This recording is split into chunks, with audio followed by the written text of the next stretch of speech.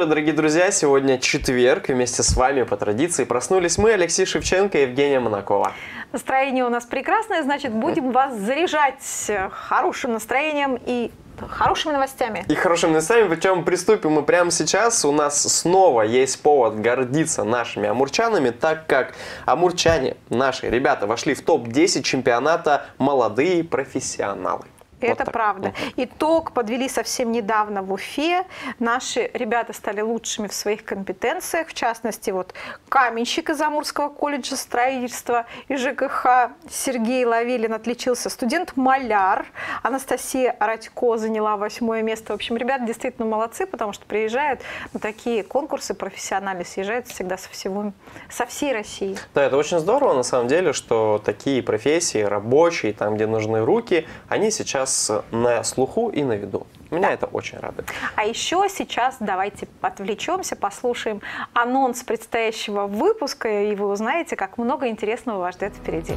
Сегодня расскажем об активистах, которые сделали подарок медикам, работающим в ковидном госпитале Благовещенска. Вспомним самые яркие события, происходившие в разные годы в Преамурье. Не пропустите рубрику «День в истории». Наша гостья, художник Елена Колесникова, научит рисовать героев сказок в необычной технике. А Александр Брылин расскажет о проектах, в которых будут участвовать спортсмены Амурской Федерации «Аквайт Спорт». На закуску рецепт блинов с грибами и гороскоп для каждого знака зодиака, но это будет немного позже, потому что сейчас мы прервемся, ведь в эфире Амурского областного телевидения новости. Смотрим и не переключаемся.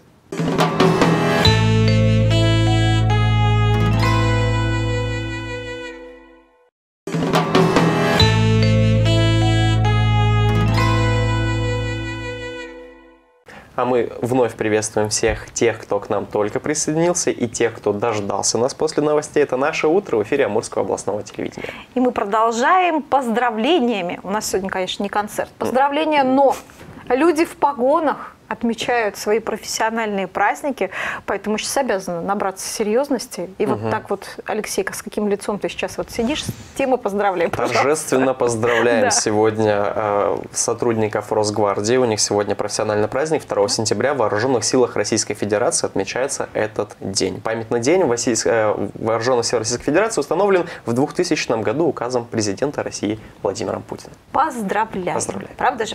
А еще мы поздравляем других людей в погонах. Это патрульно-постовая служба. Разбирались мы тут перед эфиром, чем занимаются эти специалисты. Они действительно крайне важны. Вот я, например, думаю, что именно они дежурили, когда у нас огромное, случай, огромное количество случаев было, что люди купались в речках и тонули, и вот тогда сотрудники выходят на патрулирование, останавливают детей. мне кажется, это вообще очень важная служба. Это действительно очень важно, очень сложно и иногда очень неблагодарно. Это потому правда. как э, с тем контингентом, с кем приходится им работать, конечно, оттуда получить какую-то а, поддержку очень сложно, но мы всегда за людей, которые стоят на страже безопасности наших амурчан. Поэтому поздравьте сегодня да. всех. Кроме того, людей. 76 лет назад подписан акт о безоговорочной капитуляции Японии, день завершения Второй мировой войны. Этот праздник в истории Преамурья, наверное, даже более значимый, чем окончание Великой Отечественной войны, угу. потому что именно в этот день вот у нас на нашей территории прекратились вот эти волнения. И, наконец-то, жители Амурской области смогли тоже вздохнуть спокойно. Поэтому большая дата. Сегодня есть повод вспомнить отметить этот праздник, сказать огромное спасибо тем людям, которые приняли участие в освобождении нашей земли. Ну а что еще интересного происходило в этот день, но уже в Амурской области, узнаем из нашей постоянной рубрики «День в истории». Смотрим.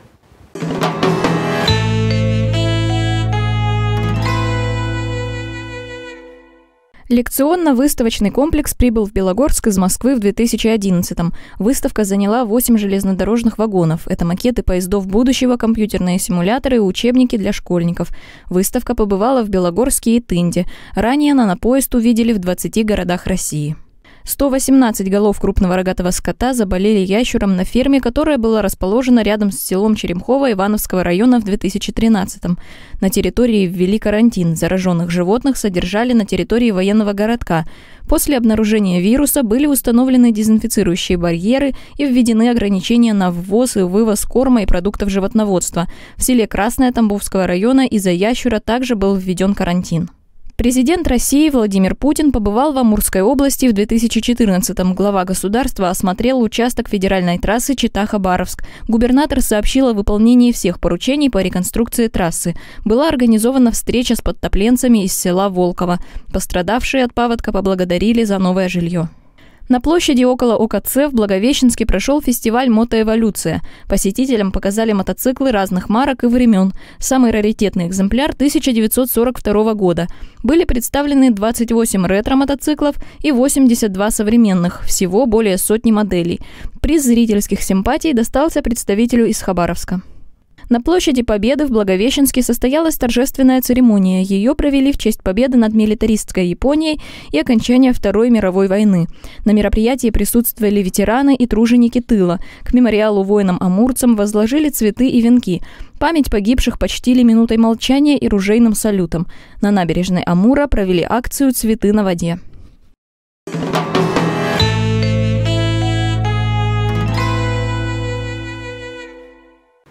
Несколько творческих номеров и около полусотни самодельных открыток с трогательными пожеланиями.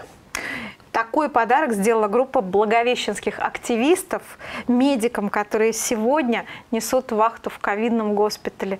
Вот такая вот акция совершенно народная, но мне кажется крайне душевная и необходимая, потому что врачам, которые работают в этом обмундировании, поверьте, очень непросто приходится. Да, нашу тему продолжит Екатерина Талалай. Смотрим.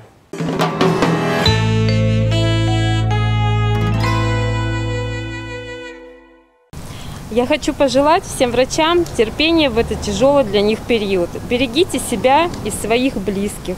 Будьте здоровы и не падайте духом. Слова поддержки, а также портреты врачей, сердечки, цветы, коты и даже обложка, украшенная блистерами с таблетками. Около полусотни открыток своими руками сделали дети, юнормейцы из поселка Новобурейский. Сейчас наши сотрудники работают все с повышенной нагрузкой, и пациентов в госпитале достаточно много. Среди них много очень тяжелых пациентов. Поэтому отвлечься и получить такие приятные подарки всем сотрудникам очень приятно. Кроме теплых слов, в этот день медики услышали душевные песни и увидели танец. Номера подготовили артисты-любители. Все они участники проекта «Творчество без границ». По тематике старались более подобрать такие номера, которые могли бы вдохновить, взбодрить наших врачей, потому что два года в таком режиме, безвылазно, можно сказать, вот на территории больницы, э, работа-дом, работа-дом, и хотелось бы как-то разнообразить жизнь, поскольку понимаем, что нет возможности сходить даже элементарно на какой-либо концерт и развеяться. Екатерина Талалай, Андрей Цветков, Амурское областное телевидение.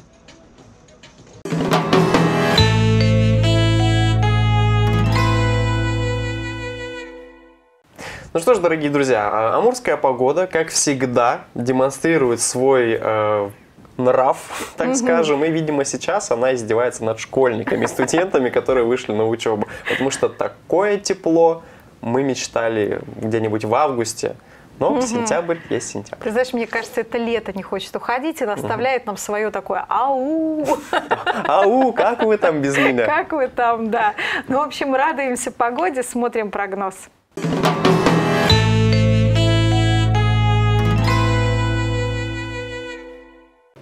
Сколько всего интересного можно сделать благодаря фантазии. Вот сегодняшняя наша гостья Елена Колесникова придумала целую методику рисования и извлечения из этого рисунка целой сказки. Крампл техника, так называется эта методика. Давайте поговорим об этом подробнее. Доброе вам утро. Всем доброе утро. Так, почему крампл? Что такое крампл? А, крампл от слова сминать. Э, и основа моих, моей методики включается, заключается в том, что мы сминаем лист и угу. по, потом, когда мы его разворачиваем, по образованным линиям а, мы там видим какую-то историю. Лена, вообще откуда это? Это кто-то так делает еще? Ну, вообще так я не видела, что кто-то делает. Угу. И когда мы искали, есть ли, есть ли что-то подобное вообще, что именно по смятым ли, листьям, есть просто люди сминают, как фон делают, угу. помятый лист. И на этом, да. в принципе, вот когда-то, гуляя по Петербургу, я и увидела вот это, то, что на смятом листочке угу. нарисована очень красивая картинка художника питерского. И я домой, когда приехала, думаю, дай-ка я попробую. Но когда а, я увидела, что там есть есть какие-то образы, я начала их просто прорисовывать. Вот так угу. и, и родилась вот эта моя такая определенная методика рисования. Вот для того, чтобы здесь что-то увидеть ага. нам с Лешей. Да. Мне кажется, ну, просто что мы хотим немного пояснить нашим зрителям. То есть э, Елена, она не рисует на смятом листе, она сминает лист, что. да, смотрит на этот лист и э, образы, которые у нее рождаются, при э, видении этого листа, она рисует только их и делает из этого Елена целые сказки, правильно я понимаю? Да. Это история, это не просто. Так получилось, что а сейчас уже это это было случайно все, ну угу. появлялись эти образы, но когда я поняла, что в этом можно вкладывать определенное намерение, и ты... Э, вообще это мой способ взаимодействия с миром. Я так uh-huh. с ним разговариваю. Он что-то мне говорит, я тут вот сминаю, что-то рисую. И так мы с ним взаимодействуем. И вот э, прежде чем смять, конечно, нужно понять, что ты... Вот какой-то вопрос задать, какое-то намерение у тебя должно быть. А потом ты сминаешь лист. И потом у тебя ответ на вопрос. Давайте на, на примере, на примере. Так, я сейчас здесь вижу э, Ты голову коня, цыганскую смотри. штуку. Вот ну вот смотрите, вот. это просто вот лист смятый. Я на самом деле еще его не разглядывала, просто он смятый э, определенным человеком. Вот тут птичка, И вот что-то там будет. Вот правда, что-то ну, там вот, например, если вы уже здесь посмотрите, то вы увидите вот здесь, что здесь стоит женщина. Видите? Она рукой тянется к чему-то. Силуэт видно. Пока тоже не понимаю, что здесь будет, но вот есть птица, да, у нас уже полетела. И Ой, да, тут целый птират. Да, и, и вглядываясь э, в эти образы, мы можем здесь вот увидеть какой-то сюжет определенный. Но он а, а, всегда идет случайным образом. Здесь я не знаю, что здесь будет. То есть в итоге какая сказка получится, непонятно, я, непонятно да? Потому что непонятно. вот отдельные какие-то образы. А сказка получается какая-то известная или эту сказку Нет, придумываете? Эту сказку я а, вы придумываете Ну, в основном, если говорить в, общей такой, в общем направлении, о чем эти сказки? Они о нашем современном мире сегодняшнем, о мире энергии, о тонком мире о том, о женщинах и о мужчинах, о их взаимодействии, о том, какую силу имеет мужчина и какую силу имеет женщина, и как мы это все забыли. Это, в общем-то, об этом. И когда эти сказки я рисую, я очень хорошо это вижу и чувствую. И они, в общем-то, и текст складывается какой-то вот такой ну, вот в, в это направление. Я знаю, что там под картинами была выставка уже, да, Крампл да. сказок, и там подписи даже есть, описание, что это такое, о чем Да, вот сказочка? смотрите, например, а, вот эта сказка точно, она о мужчинах и о женщинах. И если мы посмотрите угу. вы внимательно, то вы увидите, так, что у нас покажем. есть а, женщина, которая творит, которая что-то создает, которая своей, своим полем эм, делает вообще дом, семью, пространство. А мужчина – это защитник. Вот он и с щитом, видите? И первое, что я увидела, когда эту сказку развернула, это вот этот щит. Да? Угу. Он просто явно был понятен мне, что здесь сидит женщина, вот здесь щит, а дальше это все магия какая-то, которая а, вот эти линии превращает в определенную какую-то ну вот историю. Лен, так, как... ну из нас двоих тут за магию Женя в основном так. отвечает, поэтому я предлагаю да, что-нибудь дать ей, Лена, как это ее. делать? Да, мне ну, уже вот интересно. А я всегда беру акварельную бумагу, потому угу. что в ней больше можно сначала ее затонировать хорошо, а потом дальше я рисую акриловыми красками. Угу. Я вот вам сейчас просто дам листочки, может быть, вот что-то и получится. Нет, нам одного хватит, да, хватит, у нас да? Женя за красоту отвечает. Ладно. И вы, думая о чем-то, вы просто его сминаете. Вот ага. в хаотичном порядке. Просто идет вот... А, Дорогие друзья, мы снова да, продолжаем магия. для вас делать э, такие сеансы арт-терапии бесплатные, смотрите и можете взять листики и вместе с нами Вообще, конечно, это надо делать. делать. Здесь может быть какая-то ваша проблема. И mm-hmm. для того, чтобы ее увидеть, вы развернете лист и выплесните ее. Мне и кажется, Жене образом... уже, уже полегче Я стало уже... немножечко. Мне, да. да, мне уже полегче. Уже стало полегче. Таким образом решите какой-то вопрос. Вы мнете абсолютно хаотично. Хаотично, То есть вот сколько но захотелось... с намерением. Ага. Но ну, у вас есть вопрос, вы его повторяете да, в голове. Так. И дальше мы потом разворачиваем.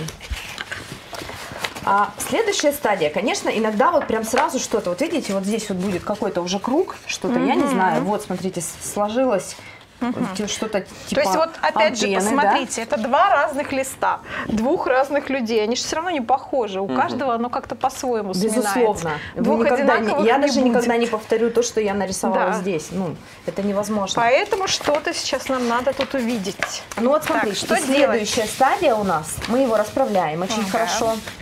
Если что-то видно, то вы уже можете понимать, что у вас здесь будет какой-то рисунок. Вот у меня очень четко здесь вот образ сердца угу. вырисовался.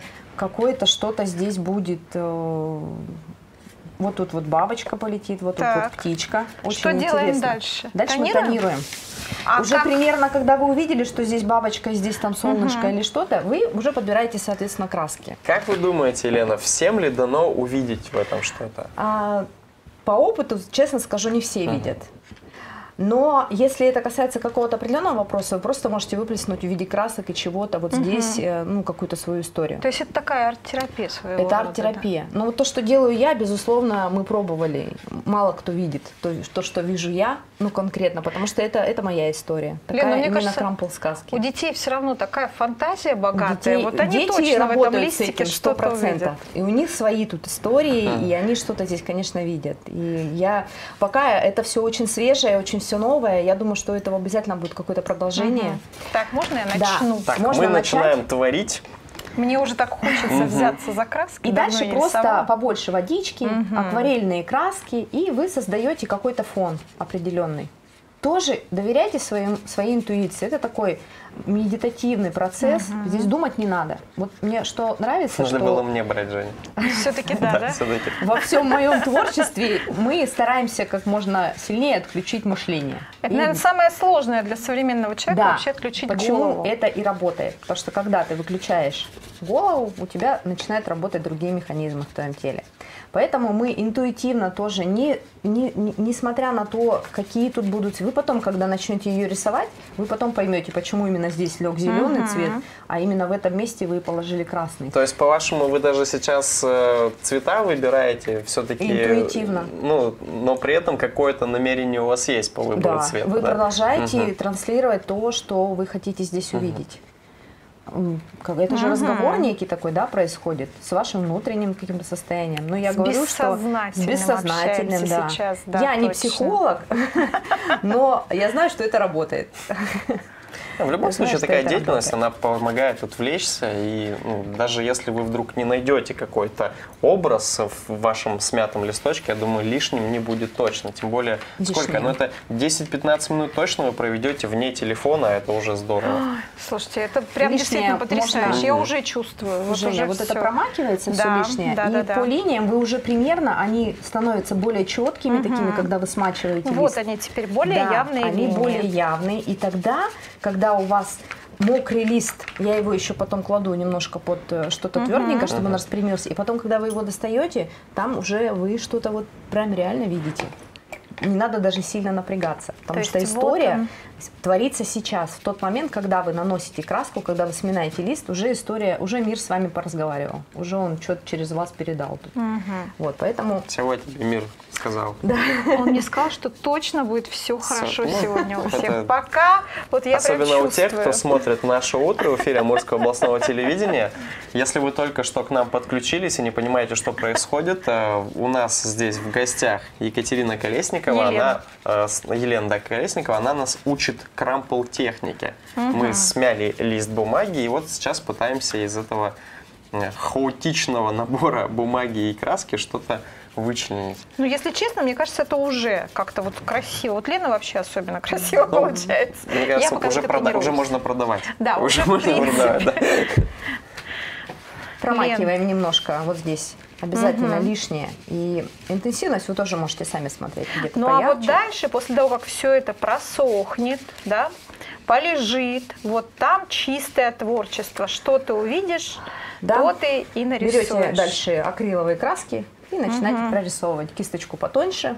И по, может быть, это быть гелевые ручки. Угу. Почему нет? Если кто-то не владеет а вот именно техникой, да, рисовать угу. красками. Вы можете взять просто гелевые ручки или фломастеры. И сидеть. И просто рисовать. Рисовать, прорисовывать что-то, какие-то образы, дорисовывать детали. Это уже медитация, ну, это, конечно, это уже расслабление. Такой, да, конечно. медитативный, долгий Поэтому... процесс. Основу положили. Рисовать да. может понятно. каждый, Алексей. Может Художника каждый. обидеть тоже каждый вот, может. Вот так рисовать может действительно каждый. Это на самом деле очень здорово, что каждый может попробовать. Мы да. очень надеемся, что вы, э, так как вы нам бесконечно доверяете, и все наши интересные задумки наверняка вы тоже повторяете, попробуйте. Почему нет? У Жени я уже вижу э, какой-то фон прекрасно уже образовался. Женя Все, нас... будет картина. Да, очень талантливо, она дорисует, и вам потом покажет. Лен, спасибо огромное за интересный рассказ про такую удивительную технику. Уверена, что кто-то вдохновится и тоже что-то свое придумает. Да, спасибо вам да, большое конечно. и хорошего дня. Всего хорошего. Ну а мы прервемся ненадолго, всего 10 минут самых актуальных новостей в эфире Амурского областного телевидения. Смотрим внимательно и не переключаемся.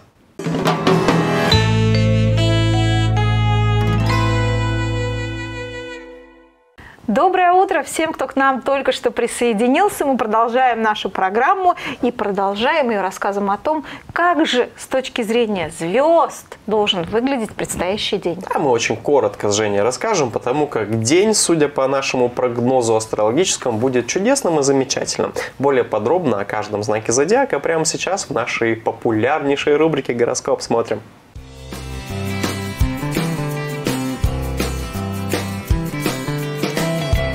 Овны. Сегодня придется делать какой-то серьезный выбор. Главное решиться и, наконец-то, не сомневаться в себе. Интересное предложение может в корне изменить не только жизнь, но и судьбу. Тельцы. Перед вами появится масса выгодных вариантов по работе. Это особенно касается тех, кто мечтает сменить профессию и найти что-то по интересам. Смена обстановки пойдет на пользу отпускникам. Близнецы, утомительный день ждет вас. Вы будете так много говорить, что-то выяснять и ездить, что вымотаетесь основательно. Радостная новость слегка поднимет настроение, но на приключения и посиделки с друзьями сил не хватит. Раки. Звезды рекомендуют использовать любое дело себе на пользу. Нельзя идти на поводу у людей. Тем более, что некоторые предложения окажутся совсем бесполезными. Львы, дар убеждения у вас проснется именно тогда, когда в нем больше всего нуждаются окружающие. Вы будете вести дискуссии себе во благо. Материальная ситуация разрешится в одно мгновение. Девы, сегодня вам предстоит много ходить пешком, зато встретите на пути немало интересных людей, с которыми сложатся крепкие и искренние отношения. Семейным людям не стоит зацикливаться на бытии и деньгах. Весы. В этот день появится шанс вырваться из скучной клетки и найти достойное дело. Оно и деньги принесет, и к карьерному росту приблизит. Усталость моральная отразится на физическом здоровье. Скорпионы, грядут масштабные перемены. Вы это почувствуете с утра. Ничего не пропустите. Возможно, важная информация и прибыль. Ничьи советы не слушайте. Стрельцы. Предстоит заниматься своим здоровьем и внешностью. Профилактика необходима. Хорошо пройдет шопинг, если будете покупать вещи для дома и одежду. Козероги. Сохранять не только спокойствие, но и держать лицо. Вот что вам понадобится. Сегодня нужно быть крайне серьезным и сдержанным, особенно в коллективе. Водолей. Звезды советуют вам удачно припарковаться. Но вопрос не в машине, а в отношениях с партнерами. Если сможете кого-то очаровать с первой минуты, то карьера вам обеспечена рыбы. У вас за спиной вырастут крылья, когда услышите в свой адрес признание в любви. Такого поворота событий вы не ожидали. Удачно сложится путешествие.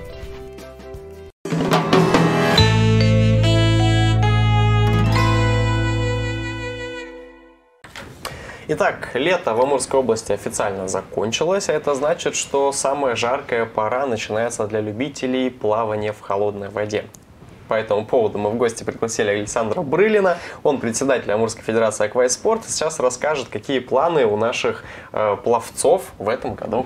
Рассказывайте, Александр. Доброе утро, Доброе Александр. Во-первых, хотела сказать, что вы, наверное, и летом-то находите холодную воду всегда достаточно успешно. У нас хватает северных морей, да? У нас полгорода без горячей да. воды. Дело в том, что если ты чуть больше 15 минут плывешь в нашей Зейской воде, это, это а. уже... Уже холодовое плавание. Уже холодовое плавание. Это да. В общем, а сейчас, когда начинается сентябрь, вообще уже температуры такие, что вам, наверное, очень комфортно заниматься какими-то заплывами. Ну вот уже второй год подряд мы запланировали проведение такого патриотического марафона, как, как бы победы, да, и доплыть до победы. Но в этом году взяли девиз «Живи как Невский», Угу. А, именно посвящаем святому благоверному князю Александру Невскому. А почему его? Ему в этом году 800 лет. Угу.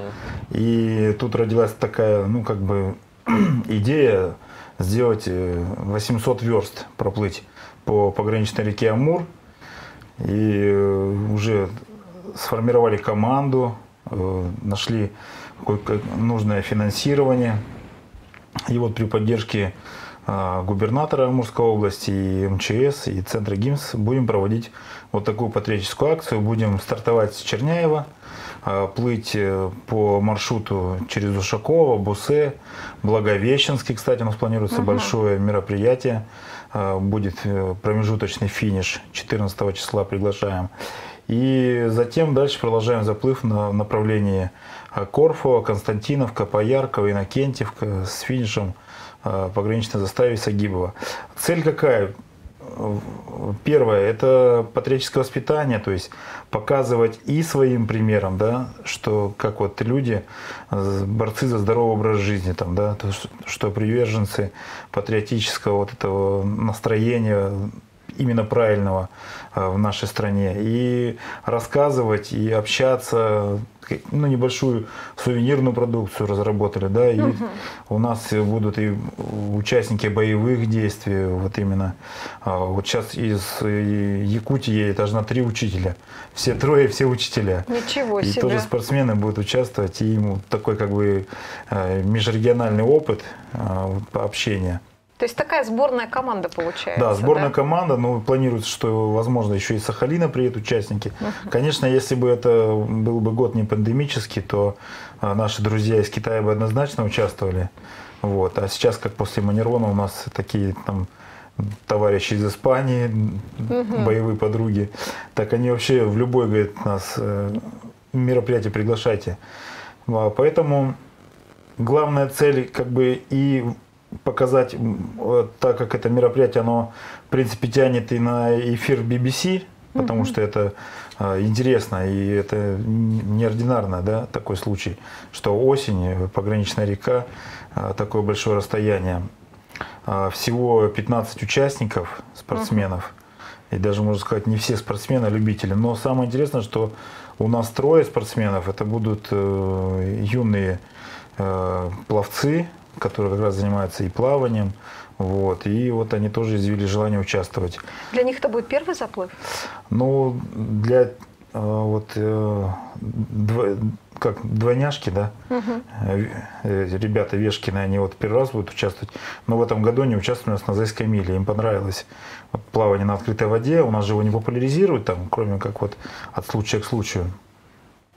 А это всегда, когда ты плывешь э, в открытой воде, ты борешься с собой, своими мыслями, со своими эмоциями, да, там может быть дождь идти, ветер, или наоборот знойное э, солнце стоять. Поэтому здесь вот как раз все качества и воспитываются, и проявляются. Паводок и вода, поднявшаяся, как-то внесла коррективы? Будет ли от этого сложнее или все в целом в порядке? Ну, здесь только получается отчасти нам на руку то, что будет течение быстрее. Mm. Вот, и мы будем, конечно, вот этот график рассчитали, да, а, мы хотели вообще этот марафон сделать за 4 дня, ну, угу. такой как супер рекорд поставить. Потом все-таки посмотрели, что все равно осень, вода уже прохладная, чтобы сильно людей как, как бы не напрягать. Решили все-таки поберечь э, пловцов наших. Ну и главная задача вообще проплыть эти 800 километров и все-таки поставили 6-7 дней. Сколько вы будете плыть каждый день? Примерно. А, каждый день будем плыть. У нас там отрезки, э, самый большой там 135 километров. За раз? Да, в день. А самый, самый непродолжительный где-то 60 или 70 километров. А за сколько вообще времени возможно 135 километров вот так проплыть? А, ну, так как мы уже разработали экспресс-метод, угу. мы плывем двумя группами. То есть одна группа вперед уходит, вторая ее догоняет то вообще это возможно за 6-7 часов. 6-7 часов в холодной воде вы будете находиться. Да, ну каждый, каждый плейс плывет 30 минут, потом мы его меняем и следующий, следующий. А, а уже на финише, на финише мы красиво выходим с флагами победы, с флагами городов, которые мы вплываем. Параллельно на лодке, либо на катере кого-то? И, идет группа обеспечения, угу. сопровождение, угу. там горячий чай, врач, э, спасатели ребята. И вот проплывает пловец 30 минут, его меняют, следующий плывет 30 минут, потом также меняется следующий, следующий. Смена обязательно, потому что я знаю, что вы в этом плане рекордсмен по нахождению в холодной воде. Сколько может э, проплыть участник по желанию, Опытный либо... Уже, ну, да. мы, мы стараемся не борзеть, потому что все хотят плыть. Вот. Лучше 2-3 этапа по 30 минут проплыть, чем один этап там час-полтора. Это от перестановки мест слагаемых сумма не меняется, а нам главное командный результат. И все это понимают.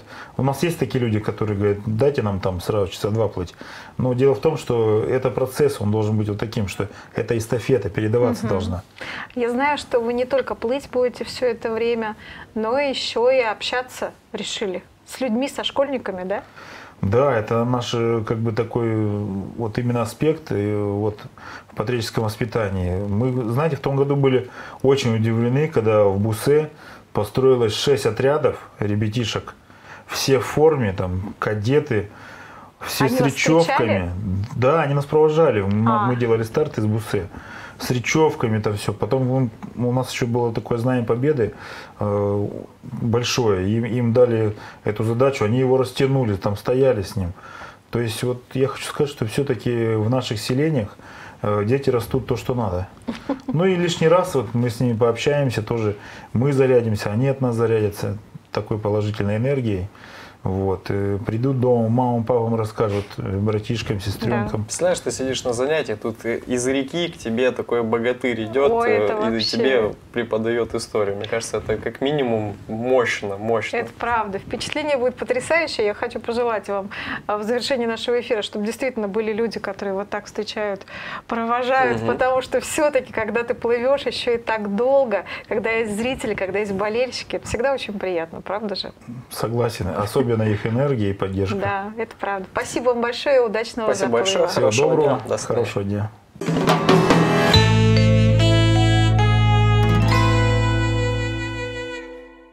Ну что ж, снова отведенный нам час закончился, но мы провожаем вас в этот день в отличном настроении. Правда. Наша совесть спокойна, абсолютно, потому что все, что могли для того, чтобы поднять вам настроение, мы сегодня сделали. Поэтому хорошего вам дня и до скорой встречи в эфире. Пока-пока.